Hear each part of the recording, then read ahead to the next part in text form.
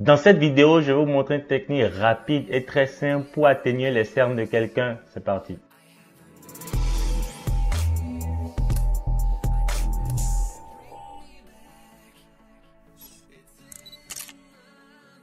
Bonjour, je m'appelle Fatih Soulé et vous pouvez trouver mon travail sur fouzephoto.com. Si vous n'êtes pas encore abonné, je vous invite à vous abonner et surtout à activer la cloche afin d'être notifié des prochaines vidéos.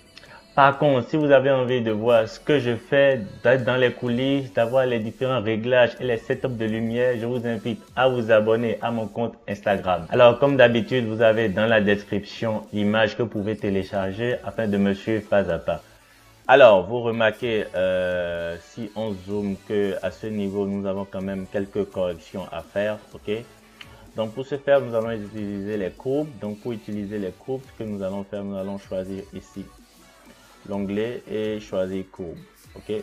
Donc, nous allons déjà fermer la fenêtre de propriété et nous assurer que nous avons ici le masque qui est, euh, pas le masque, nous avons plutôt euh, le calque qui est sélectionné et pas le masque. C'est très important.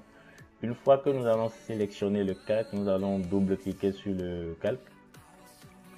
Et là, nous avons une fenêtre de propriété qui s'affiche. Nous allons choisir ici la première pipette et nous allons aussi double-cliquer.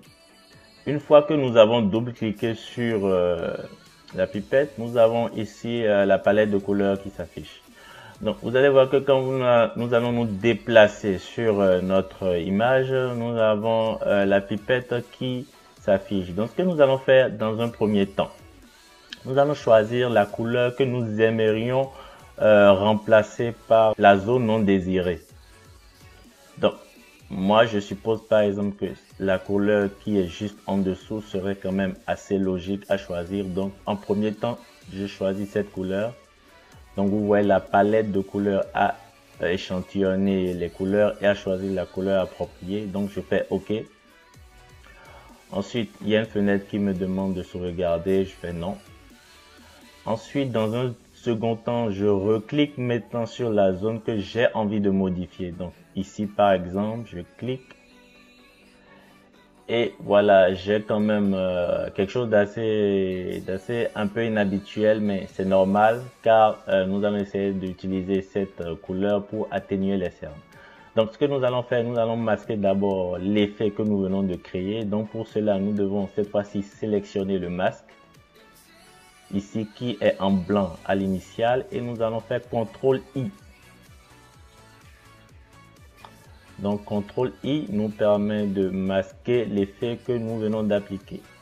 Maintenant, nous allons essayer euh, d'appliquer plutôt cet effet de façon locale à une zone très précise. Donc, pour ce faire, il suffit de choisir déjà l'outil pinceau.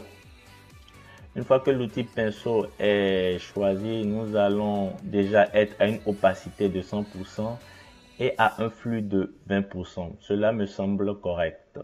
Ensuite, il faut que vous vous assurez que la partie blanche ici est sélectionnée afin que les modifications soient faites.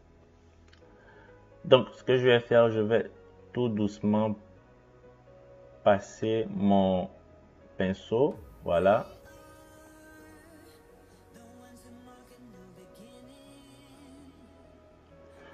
Donc là, j'ai déjà essayé d'atténuer légèrement, mais là, je suis allé un peu trop fort. Donc ce que vous allez faire, c'est juste diminuer l'opacité.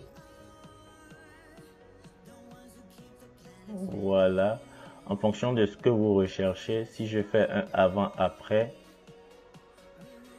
vous voyez, nous venons d'atténuer les cernes de notre modèle. Alors, ce sera tout pour aujourd'hui. Si vous avez aimé la vidéo, je vous conseille de laisser un pouce bleu et de vous abonner et d'activer la cloche pour ne pas rater la suite des événements. Allez, tchuss